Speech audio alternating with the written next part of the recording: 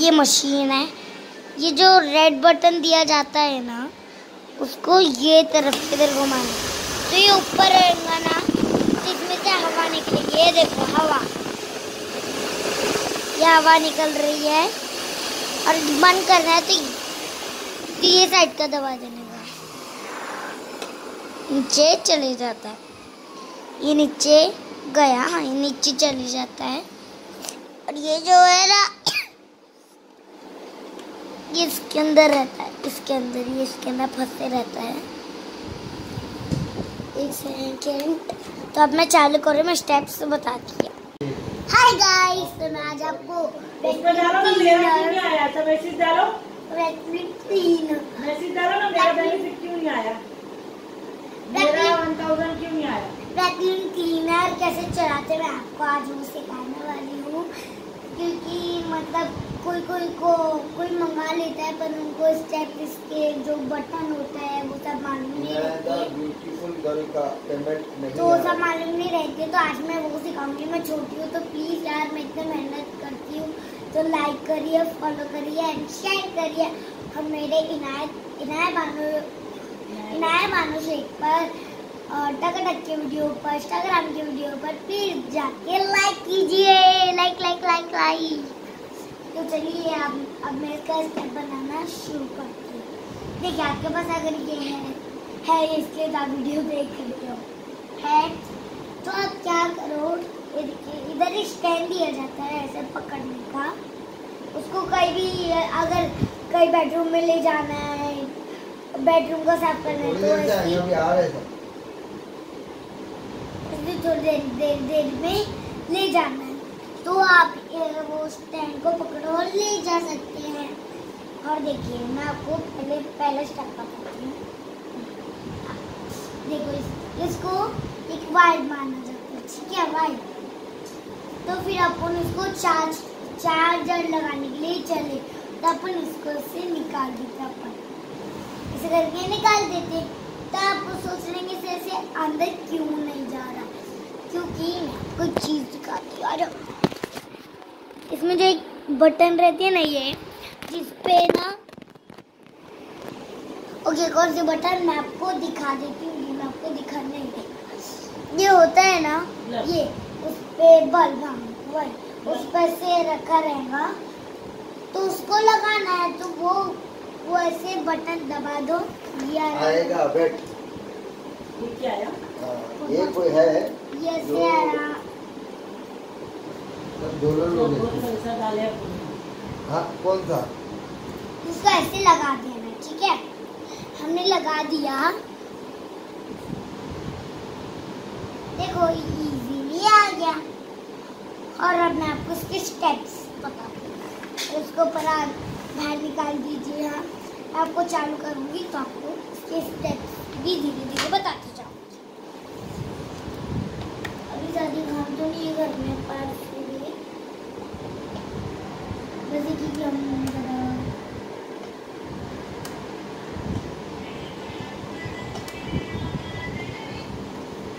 अक्सर का है क्या अक्सर का है मुझे दिख रहा है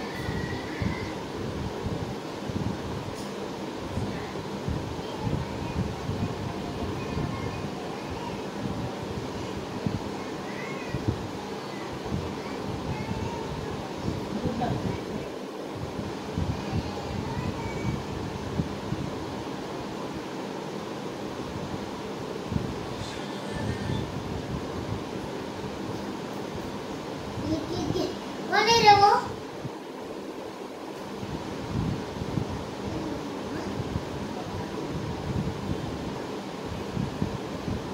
डीपी तूने मेरी रखी है तो गाइस मैंने ऐसे बल्ब लगा दिया है, देखिए। मैंने बल्ब लगा दिया है। और आप चालू कैसे करते वो मैं बताने वाली तो ध्यान से focus I like you but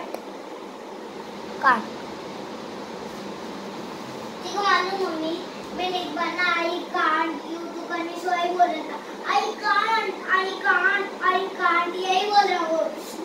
लोग बोल रहे हैं ना तो वही बोल रहा हूँ तो मैं चालू कर रही हूँ, उसकी स्टेप्स मैं पहले आपको बता देती हूँ।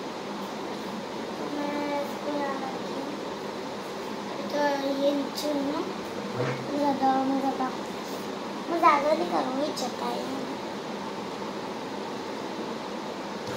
एक मिनट।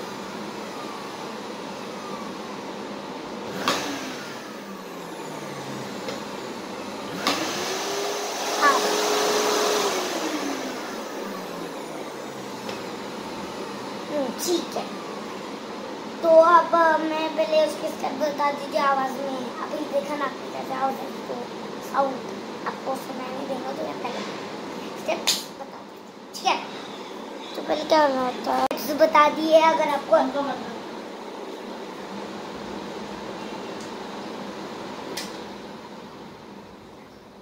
मैंने आपको स्टेप्स बता मैंने आपको स्टेप्स बता दिए हैं तो आप अभी देख लेना कैसे आवाज़ आती है, कैसे का का डाल सकते हैं।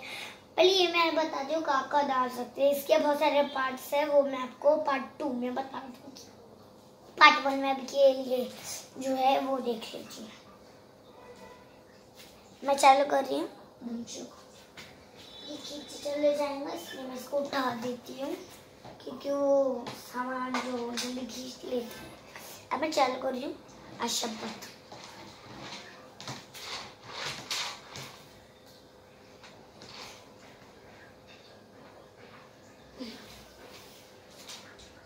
अब मैं चालू कर रही कोई शोर शराबा नहीं। तो हम चालू करते हैं, आप लगा दीजिए ये करना ऐसे एक जगह खड़े रह के हम अगर आगे जाना है लेकिन की नदी आपके साथ आगे जाएगी आगे तो वहाँ पर मेरा नाम आ सकते हैं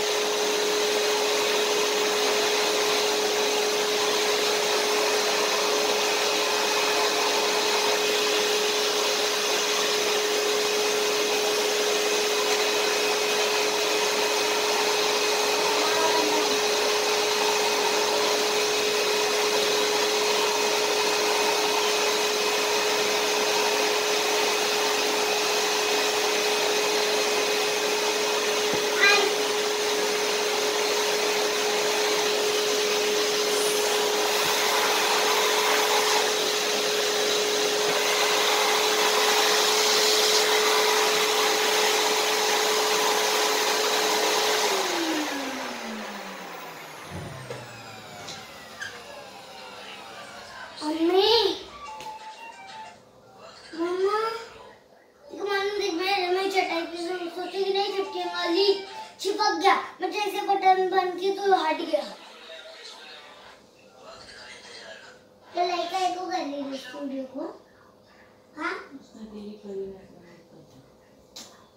दो चार ही कर बाबा। है ना?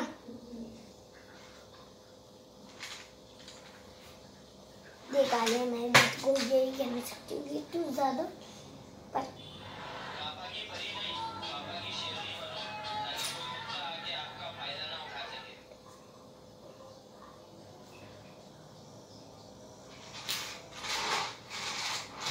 वाली बना के रखे हैं। कुछ तो है, काम नहीं था तो क्लीनर है तुम्हारे पापा ने।